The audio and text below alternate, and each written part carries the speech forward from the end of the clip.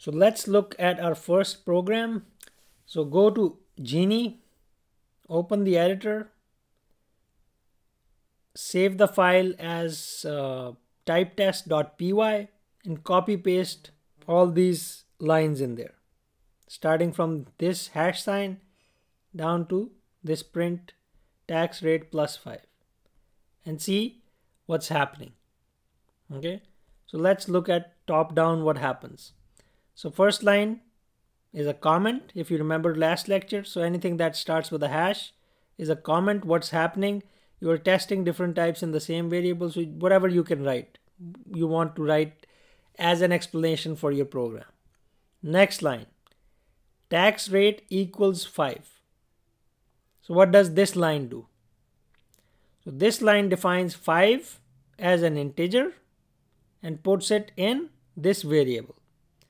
So you defined a variable called tax rate and give a val value of 5.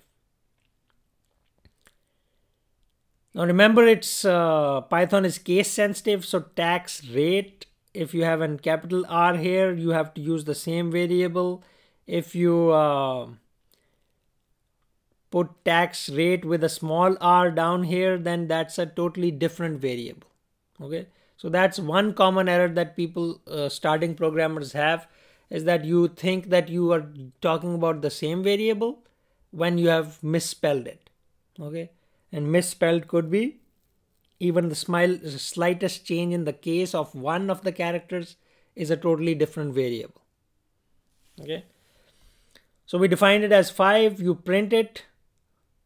Again, remember if you put something without quotes, it's computed right? So in this case, you said print tax rate. What is tax rate? The compiler will compute it, meaning it will go to this memory location, retrieve the value 5, put 5 here.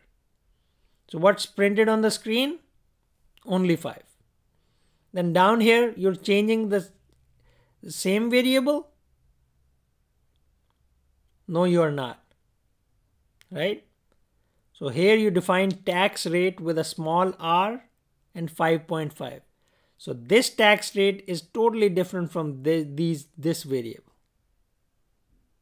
Hence, when you print tax rate with a uppercase R, the value is printed as 5.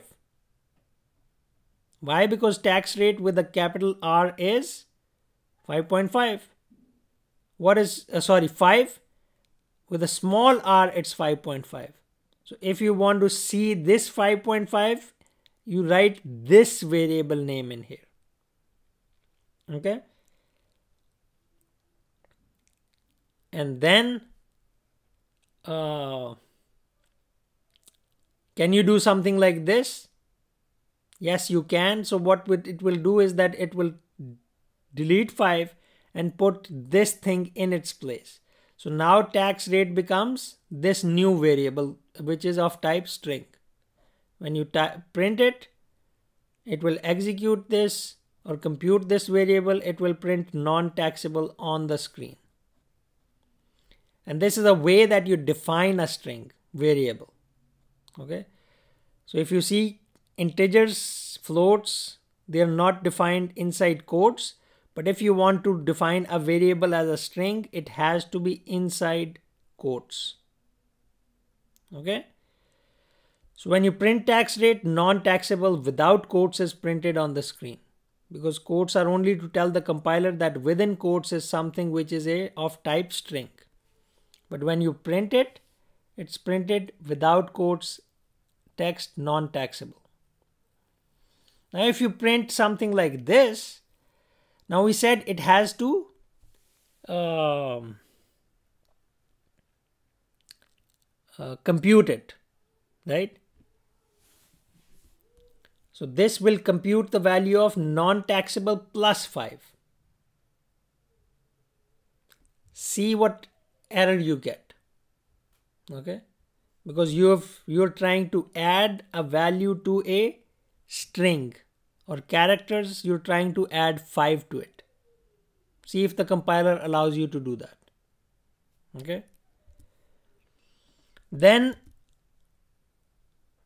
let's say if you get an error. change this line into something like this plus something inside quotes. In this case, let's say I put two question marks inside quotes plus the what was tax rate? The last value of tax rate is non-taxable, right? As a string. When you put plus another string, save your changes and run your program and see what do you see. Okay.